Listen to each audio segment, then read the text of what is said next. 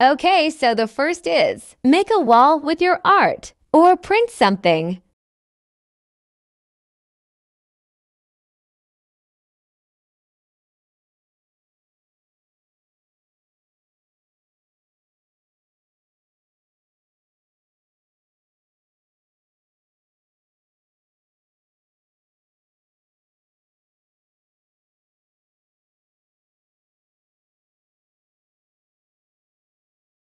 Next, clean your desk or anything in general.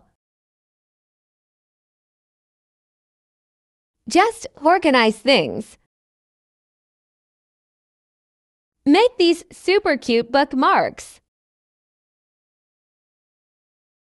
Or any other bookmark you like.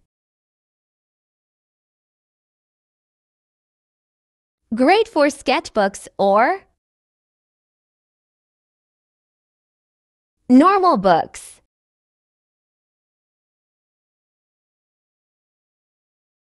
School books. The list goes on. Next, make these nice and cute butterfly. Draw or print one, fold it. Pierce a needle through the wings. And tie a knot thingy. You can hang it or tape it. Next up, make something like this. Watch and you'll understand.